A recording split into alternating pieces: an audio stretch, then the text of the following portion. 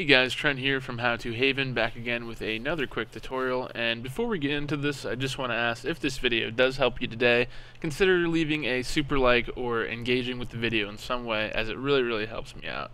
Anyways guys, what you can do, and I was having a problem with this folder right here, etc, in my, my system, and I couldn't edit, uh, modify this host file here. Um, so what you can do is you probably don't have permission for some reason or another. Uh, you're gonna make sure you're, you're you want to sorry that you're on an administrator account. So more or less the main account for the PC. You can hit properties on the folder that you want to access slash be able to save things in or whatever it is you're trying to do. Uh, head over to security and you probably don't own it. So first thing you want to do is make yourself the owner and go to advanced. Um, you'll get this screen and you'll see a list of all the people. Uh, mine is really weird for some reason.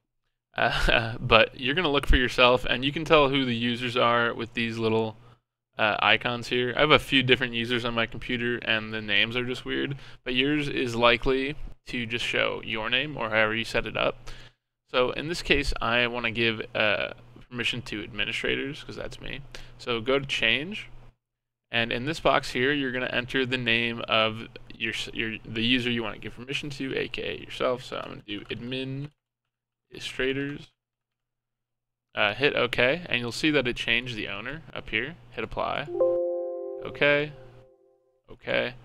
Uh, and then you want to go back to the screen here, and then you're going to want to edit the permissions of the users again to make sure that you're giving yourself the control you need.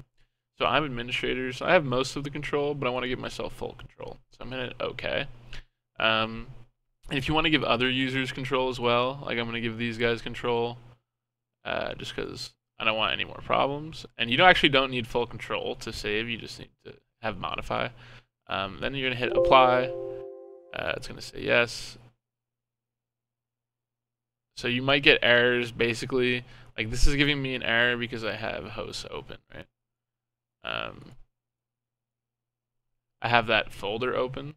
Uh, but once you do that, it should give you the ownership and the properties. So you'll see, um, look, and now you have full control, full control, okay, and then you should be able to uh, save things. So, for example, I'm going to open this host folder uh, with Notepad, and I want to change this right here, and I'm going to hit save. Now we saved and it worked. If I open this up again, now you'll see that HHH is gone. I will get rid of this space. Anyways, guys, if this video helped, please drop a like, leave a comment, and subscribe. Thank you.